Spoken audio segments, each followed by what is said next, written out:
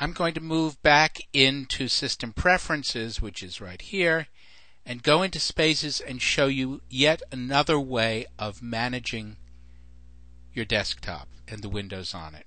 First of all, I can enable spaces. And what I've got here are by default four spaces, and I'm going to show them in the menu bar. It's important I can see the icon up here, and this is space number one. What I can do now is to move windows into any of these four spaces. So let me take a Finder window, and I'm going to move it into space number two, which is at the upper right.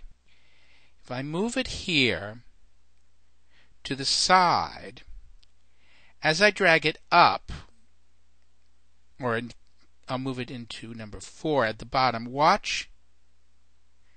See how the spaces indicator, it's called a sky view, shows up. If I move it over here to the left, then briefly you will see I've moved it into the lower left corner, which is space number three. And up here, I can see space number three. That's the current space. I can switch into space number one, which is where I started. And let's say I'll leave system preferences up here. Maybe iCal should go into space number three. So I take it down, and that was space number three, so I'm okay with that one. Maybe the Finder window should go into space number one and I believe that's where it is. So if I look at space number one, I have in there system preferences. Space number two has nothing. Space number three has the Finder and iCal. Okay, let me move this into number two. And you see, as I move it to the edges, here I'm in space number two, space number one, space number three, and space number 4. I can group windows in any way that I want. If I come back over here, I've recently used TextEdit, but it's not in the recent menu, so I'll come down here to Applications and come down to text edit.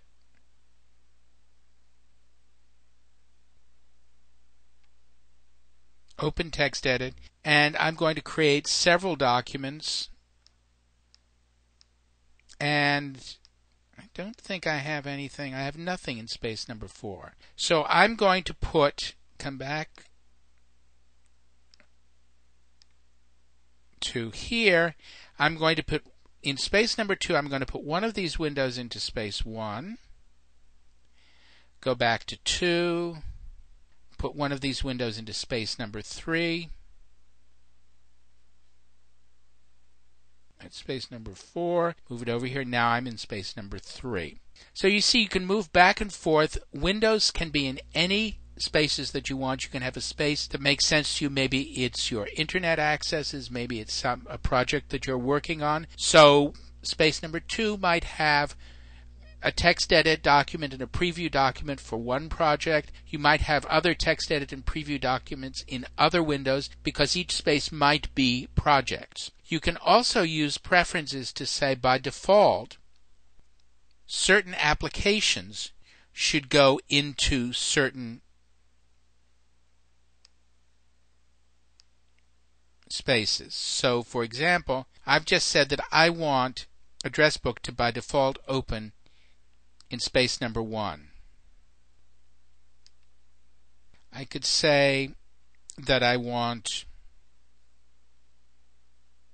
it's fine. Chess, let me say I want that by default to open in space number 3. I can change the spaces for the applications. So by using the preferences, you can say what the default space is for the windows of a given application. But having done that, you can still move windows around from space to space by dragging them to the edges. And I don't want these to stay in effect, so I will delete them from here and you can choose to activate spaces with a function key and you can determine what it is. And I'm going to change the dock to be hidden. You can see that you also have function keys that let you switch between spaces or directly to a space, or you can use the pop-up menu here if this is in the menu bar. It's a very, very efficient way of working, and you can create additional spaces and move things around. Once you have too many spaces, though, it may start to defeat its purpose because what you've done is you've gone from having too many windows on your desktop to now having too many spaces on your desktop. So 4 seems to be a good number, and I find, in fact, even when I'm working on a number of projects during the course of a day, I don't really use four spaces. I use one space that has the general administrative sort of things like iCal and address book and mail and internet. But I also have usually two projects at most that I'm working on within a single day. And you may be working differently. Also, I find I use the internet a lot. So as I'm working on two projects, let's say, I may have some browser window opens in both of my project spaces with the windows of the information that I need for each project. So this is new in macOS 10 Leopard. Look at it, play with it. It's very exciting and is a wonderful way to continue organizing all of the information we have that we need access to right away.